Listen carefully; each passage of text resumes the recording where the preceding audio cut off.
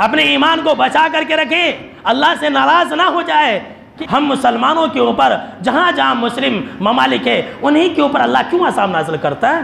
तो हर अजाब जो सज़ाएँ हैं, दुनियावी जो सज़ाएँ हैं, ये सिर्फ़ अजाब नहीं है।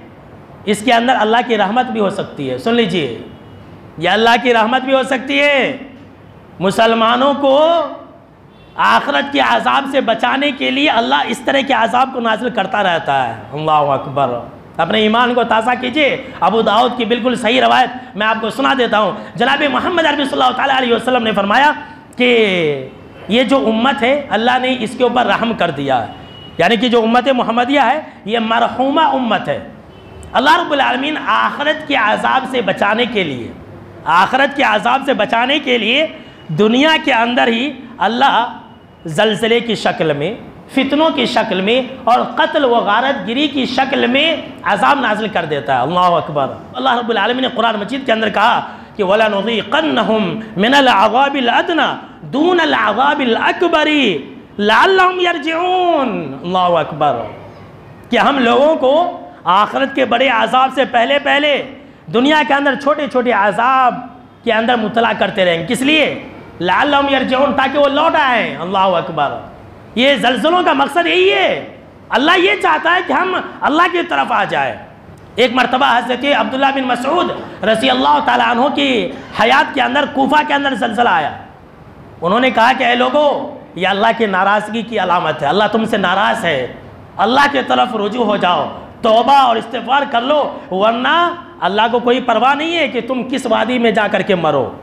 अगर हम नेकिया नहीं करेंगे, अल्लाह की तरफ़ रुजू नहीं करेंगे। अल्लाह वार्निंग दे रहा है।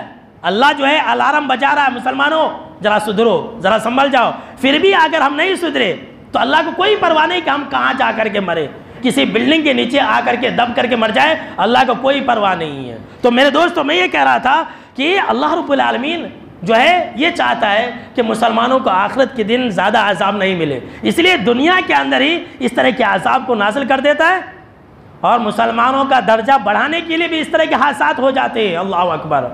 क्या फरमाया जनाब मोहम्मद अरबी वसल्लम ने कि जो किसी बिल्डिंग के नीचे, किसी पहाड़ के नीचे, किसी घर के नीचे दब करके मर जाए, वो शहीद है।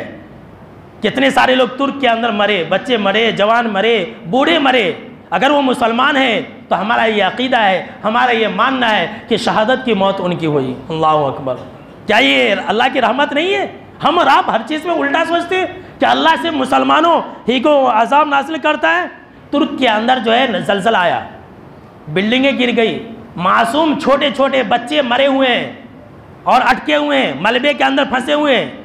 लेकिन आपने उस वक्त, अल्लाह अकबर, आपने उस वक्त वीडियो के अंदर सुना होगा कि इंसान उस वक्त क्या कह रहा है? अल्लाह अकबर सुबहान अल्लाह ला इलाहा इल्लल्लाह कह रहा है। वहाँ पर इंसान चीख और चिल्ला नहीं रहा, सीख लीजिए। ये भी एक सबक है, ये भी एक पैगाम है कि एक मुसलमान को ऐसा होना चाहिए कि अगर मुसीबतें आए, अगर परेशानी आए तो मुसलमान सिर्फ़ और सिर्फ़ अल्लाह को पुकारने वाले बने। देख रहे एक बच्चा है, एक बिल्डिंग के अंदर आधा फंसा हुआ है। उसका जिस्म जो है, आधा बिल्डिंग के अंदर है और आधा जिस्म बाहर है। वो बच्चे का बाप कह रहा है, ला इल्लल्लाह। अल्लाह अकबर सुबहान अल्लाह कह रहा है, कितना बड़ा पैगाम है कि मुसलमान ऐसे होते हैं कि मुसीबतें भी आई तो वो अल्लाह का नाम लेते हैं। अल्लाह यही चाहता है कि उसके बंदे, चाहे वो गम में हो, खुशी में हो, अल्लाह का नाम ले। अब